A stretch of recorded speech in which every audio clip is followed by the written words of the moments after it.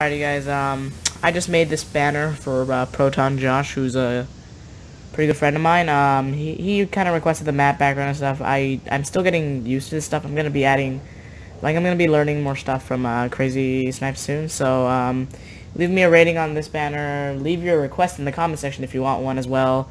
As well as any, like, I don't know, anything you want there specifically, such as, like, I don't know, shaders, whatever.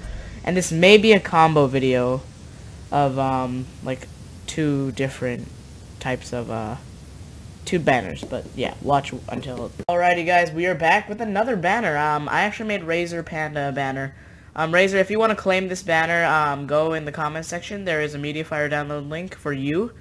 Um let me know once you download it so I can remove the link but uh yeah this is a I just made this quick banner for you. Hope you enjoy it. Um yeah, it's not the best because I'm not very good at After Effects, but yeah, I mean, th yeah, the, the background looks pretty sick. It was really relevant to pandas.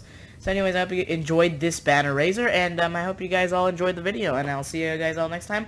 Make sure to um, leave your IGN and whatever preferences you may have if you want me to make your banner. Take care.